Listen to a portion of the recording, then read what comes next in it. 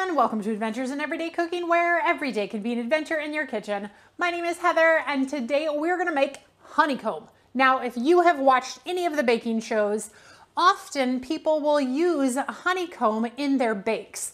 Um, there's never actually been a challenge for people to make honeycomb, but everybody, especially in the British baking show or the British Bake Off, um, they make honeycomb to go in their bakes. And so I've always wanted to try this.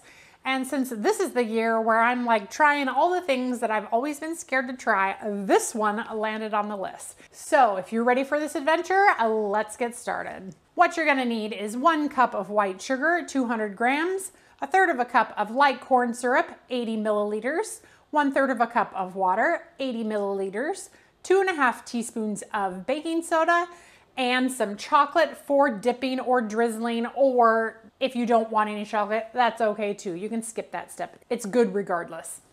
Okay, some things that, that we need to go over first before we begin. Um, you do need a silicone spatula of some sort so that whenever you get this out and you stir it, um, you don't burn your plastic because this mixture is going to get up to 300 degrees. Speaking of 300 degrees, a good thermometer. Uh, you could use a candy thermometer if your candy thermometer goes low enough to get into the mixture. My candy thermometer has a little foot on it so that the glass itself is not on the bottom of a pan whenever you rest it in. And that is too much. Um, it has to be a much thicker liquid than what we're going to do here today. You're also going to need a prepared baking sheet or a baking pan. Um, some people like to do it in like a square tin and you just put some parchment paper in there and then you pour it in there. However, I want to make mine much thinner than that, so I have a silicone baking mat on my tray so I can just pour it on there and then it can harden like that. I also have a little silicone mold that I am going to attempt to put some of it in the silicone mold because since this is the first time that I'm making it, I don't know the best way to get my desired results because I would love to just be able to pop these out and then cover them in chocolate and then I'd have my candy like that. Because my understanding is that once it is dry um, and hard, getting it into exact chunks is very, very difficult. So I picked up this mold, it's silicone, BPA free at Walmart, and they have a lot of them. This is for ice cubes, but I figured it's probably gonna be excellent for candy as well because in the candy section, they have other molds, but none of them were like chocolate bars. This is, this is almost like a Twix bar size. So I thought I would try that as well. I also got the Ghirardelli milk chocolate melting wafers and we will melt those once this is all cooled. This will take about one hour to cool and get hard. So if you want this for, um, you know, dessert for tonight or whatever, just make sure you make it at least an hour ahead of time. So first thing we're gonna do is we're gonna turn this on to medium-ish. And it's gonna buzz for a second, but that's okay. We're gonna add in our water, add in our sugar, all right, and we'll stir that. And then we're gonna put in our cornstarch. All right, and we're gonna give that a good stir. Now, as this heats to boiling, we're actually going to stir frequently.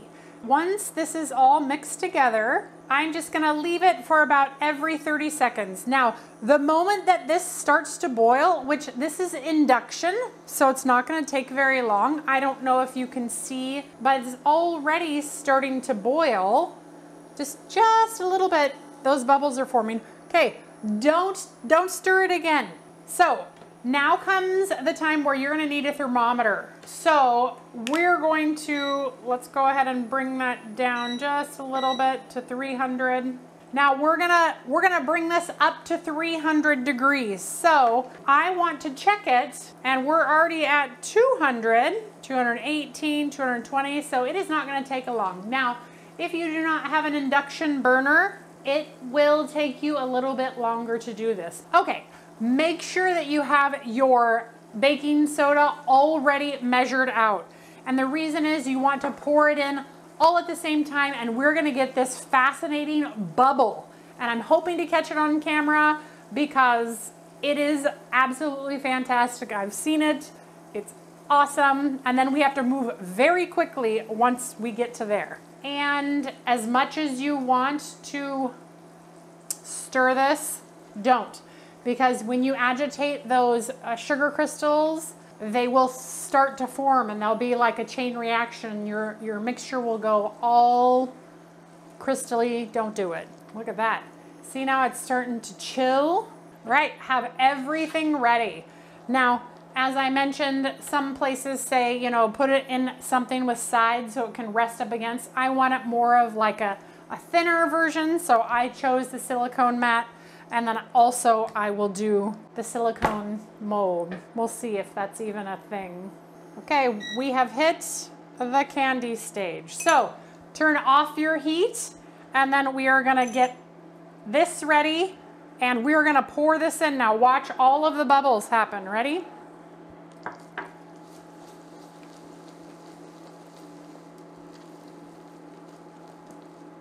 Make sure that you stir it up really well. And then we're going to immediately, but don't do too much because too much stirring will knock out all the bubbles. So immediately I'm gonna pour some into these molds so that we can get that figured out. And then the rest of it, I'm going to pour onto this mat, all right? And I got my little scraper here so that I can go kind of scrape off the top and that'll be a something to clean later. But if it comes out like I'm hoping it will, I think it will be worth it. Okay, this is already turning into a candy, so we're just gonna leave it.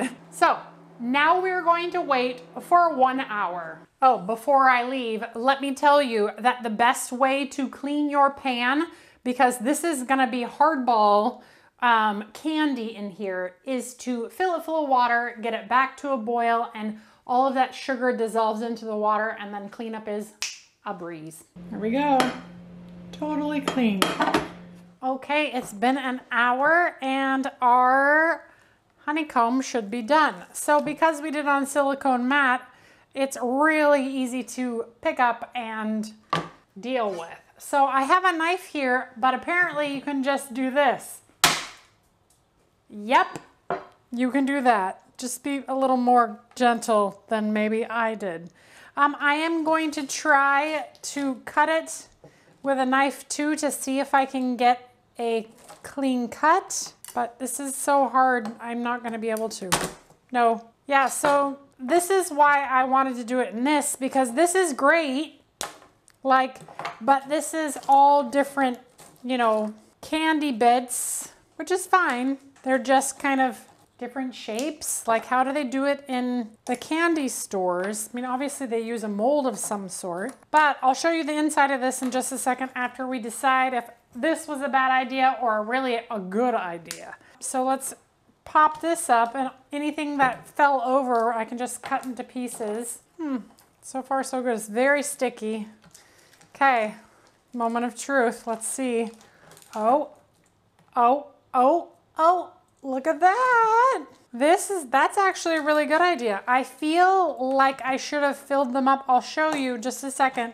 When I when I ran my um, scraper over the top, I think I um, popped some of the bubbles, which is fine for this first time.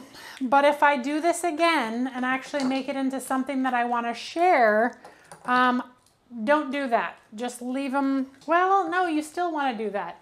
Hmm, I don't know. But let me show you. Look at that. See that? That's pretty cool. And that would be very easy to dunk in something. I feel like if they were smaller, it'd be more ideal, but this end one didn't really get much of it. But these, these ones look amazing. Okay, let's get a close camera real quick and I'll show you the insides. So the reason they call it honeycomb is that it has all of those bubbles in it that create kind of like a honeycomb texture. So here, the bottom of those bars, you can see that texture in there. And here's the top of those bars. Isn't that cool? Um, but let's cut, I'm gonna cut into one of these bars. Oh yeah, that worked splendidly.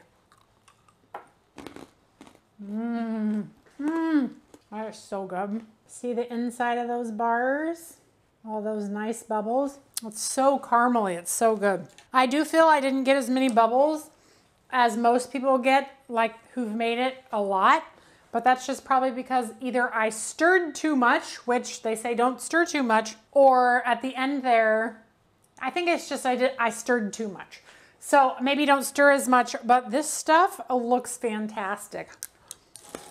Mmm, and it tastes fantastic too. That's good.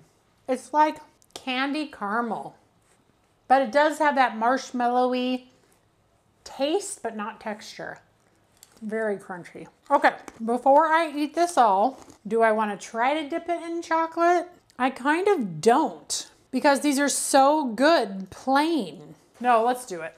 All right, so I have a glass baking dish and I am going to simply melt these. So we're going to put all of the chocolate in that dish and read the directions. It says 30 seconds stir, 15, 15, 15 until melted. That's easy. In the meantime, let's decide how big of pieces. I think I'm gonna break the big ones a little bit smaller. Sometimes they're difficult, so that's where you probably wanna use the knife. There, oh yeah, huh. Okay, let's see if I can, oh, yeah, just keep your, keep your hand out of the way. All right, after just one minute, our chocolate is ready to go. So what we're gonna do is we are going to take our little bars here and I'm just going to dip them carefully in chocolate, shake it off, and then try to do, you're just gonna get dirty. That's all there is to it. And then we're just gonna set it down.